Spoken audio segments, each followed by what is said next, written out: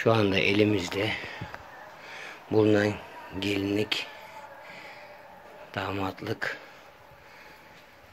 bir de kına gecesi elbisesi gelmiştir.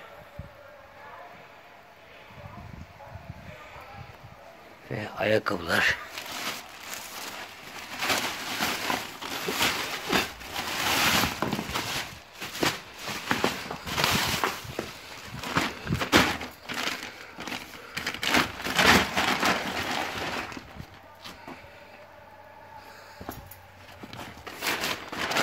Çok güzel ayakkabılar.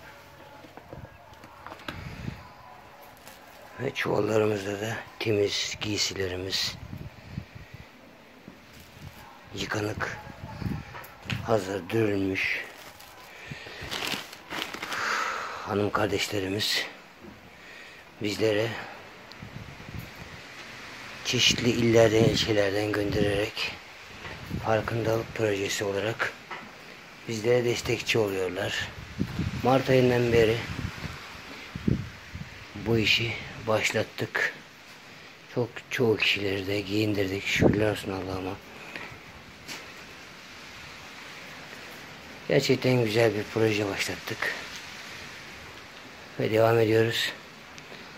Hak sahiplerine ulaşması için bunları herkes gelir isteyen alabilir. Köy muhtarlarımızla irtibattayız. Köylü kardeşlerimiz, vatandaşımız muhtarlara ulaşıp Saadet Partisi ilçe başkanı İsmail Tütüncü'ye ulaşırlar. Buradan da bizler kendilerine yardımcı olacağız. Her zaman için farkındalık, elden ele projemiz devam ediyor. Çanda da depomuz var. Ve bu arada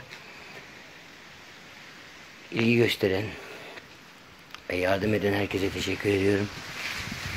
Allah yapmış oldukları hayırları ve yardımları kabul etsin. Selamünaleyküm. Allah'a emanet olun.